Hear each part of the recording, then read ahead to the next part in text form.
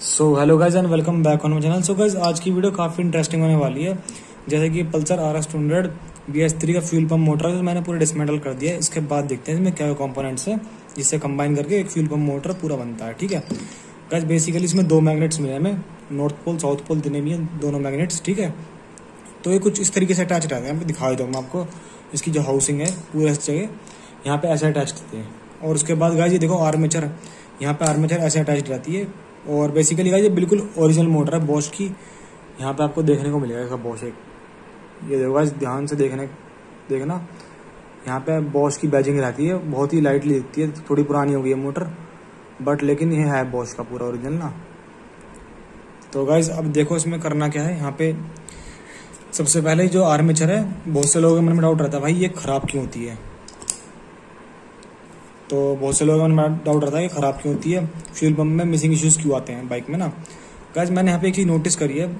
यहाँ पे देखो कार्बन ब्रशेज हैं दो। आप थोड़ा देख पाओगे ध्यान से। ये कार्बन ब्रशेज हैं दो।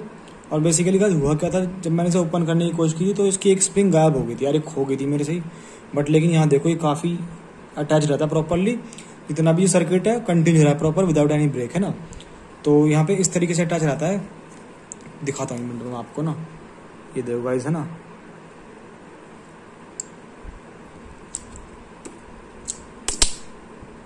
यहाँ पे गाइस इस तरीके से अटैच रहेगा पूरी मोटर और यहाँ पे ये बिल्कुल अटैच रहती है, पूरा प्रेस करके रखती है, इसी सर्किट पूरा ब्रेक ना हो और इस तरीके से रोटेशन होती है इसकी मोटर की। तो उसके बाद देखो होता क्या दिक्कत क्या आती है बाद में after some time low fuel चल चलने के बाद या फिर after forty thousand kilometre fuel pump weak पड़ता ही है। तो गैस यहाँ पे दिक्कत ये आती है, इसके आर्मेचर के स्लॉट्स हैं अपर स्लॉट्स देखो यहाँ पे ध्यान से। तो ये जो स्लॉट्स हैं, इन स्लॉट्स पर आती दिक्कत यहाँ पे। ये देखो गाइस जो ये स्लॉट्स है ना प्रॉपर यहाँ का, इनका वियर एंड टीयर बहुत जल्दी स्टार्ट होता है तो यहाँ पे ये इम्प्रॉपर आती है सरफेस और इनका वियर टीयर होने के बाद जो बाइक में मिसिंग इशूज आते हैं काफ़ी ज़्यादा। बाकी तो फ्यूल पंप मोटर में बहुत बेसिक चीज़ है गाइस और यहाँ पे इसकी टर्बाइन होती है बॉटम में। ये देखो गाइस यहाँ पे इसके बॉटम में टर्बाइन लगी होती है। इस तरीके से, और यहाँ पे ये अटैच रहता है। यहाँ पे इस तरीके से अटैच होता है। तो ये रोटेशन के बाद ना, जितना भी फ्यूल पंप मोटर जो, ये सक्शन प्रॉपरली कर पाती है जगह से फ्यूल का, है ना? और फिर अपर साइड से इंजेक्टर को दे देती है इजीली तो गाइस बस ये ये बेसिक प्रिंसिपल इसका ऐसा तो इसमें कुछ नहीं है। बाकी ओरिजिनल मोटर है बोस्ट की, और बहुत से लोग बोलेंगे, भाई बी एस थ्री का डिफरेंट है बी एस एस का डिफरेंट है। तो गाइस सीधी सी बात है, जो फ्यूल पंप असेंबली है, वो डिफरेंट है but fuel pump motor ditto same है फोर्टी लीटर्स पर आर की। और approx five P S I जो उसका प्रेशर रेट है। ठीक है?